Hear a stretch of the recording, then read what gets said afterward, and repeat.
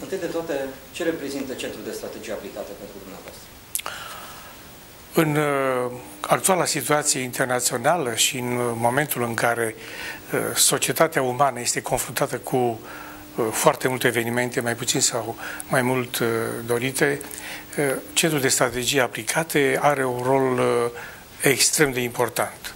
De ce spun asta? Pentru simplu motiv că are menirea de a implementa, a dezvolta și a transmite cursanților uh, maniera în care se poate concepe noțiunea de diplomație, noțiunea de politică externă și maniera în care, uh, în contextul actual al vieții internaționale, cu toate vicisitudinile sale, uh, cursanții pot să aibă contact prin prelegeri cu ceea ce înseamnă evoluția internațională. Aceasta în condițiile în care uh, procesul de mondializare se face simțit uh, din ce în ce mai mult în uh, contextul relațiilor interstatale.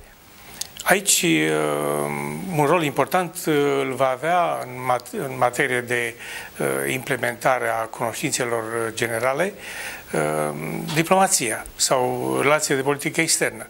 Pentru că diplomația în uh, acceptul general, în sfârșit, reprezintă o știință, este o artă, spun știință pentru că ea are un rol integrator, un rol destul de egoist, în sensul că uh, preia din uh, multitudinea de științe, din politologie, istoria artelor, istoria uh, serviciilor secrete, istoria armatei, uh, politologie, geopolitică și așa mai departe, preia tot ce este mai important.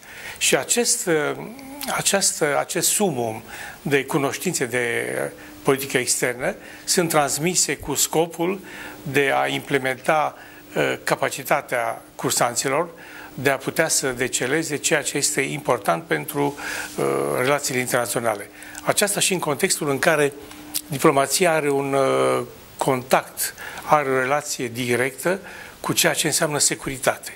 Securitatea este la ora actuală un element extrem de important pentru că viața internațională oferă situații absolut speciale.